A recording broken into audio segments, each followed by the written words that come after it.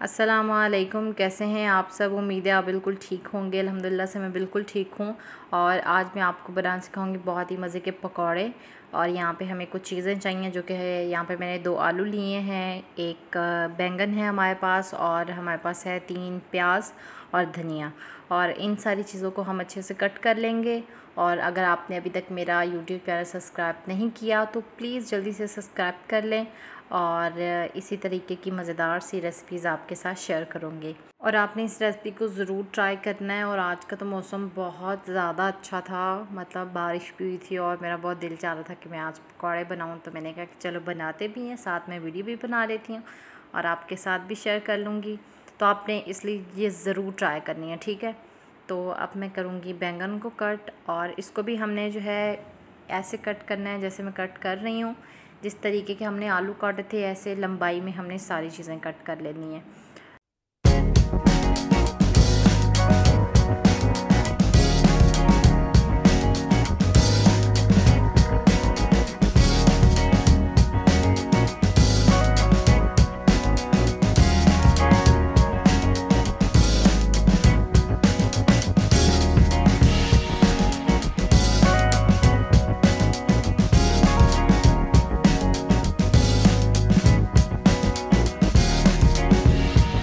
और इसके अंदर मैंने चार बड़े चम्मच बेसन के डाल दिए हैं और अब मैं इसके अंदर डालूँगी कुछ मसाले और अब मैं डालूँगी इसके अंदर नमक। नमक आप अपने टेस्ट के अकॉर्डिंग डालिएगा।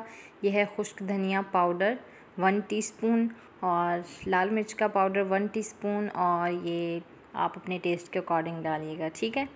और कोई ज़्यादा मसाले नहीं जाएँगे। और अब हम इसके अंदर डालेंगे धनिया और ये धनिया डालने के बाद आपने इसको खूब अच्छे से मिक्स कर लेना है।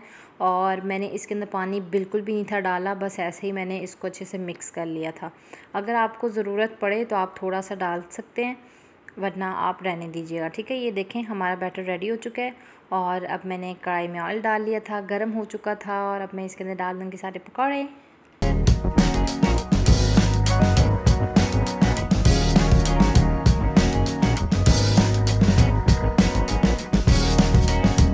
तो आप देख सकते हैं कि हमारे पकौड़े बिल्कुल रेडी हो चुके हैं। बहुत अच्छा सा कलर आ गया है और अब मैं इनको प्लेट में निकाल लूँगी। और आपको ये वीडियो कैसी लगी मुझे कमेंट करके ज़रूर बताइएगा। और मेरी वीडियो को लाइक करिएगा शेयर करिएगा और मुझे कमेंट करके भी आपने बताना है, ठीक है? अगर आप मेरे चैनल पर नए हैं तो प्लीज़ ज़रूर सब्सक्राइब करिएगा। अपना बहुत सारा ख्याल रखिएगा, दुआ में याद रखिएगा। ओके अल्लाह हाफिज़ बाय बाय अल्लाह हाफिज़।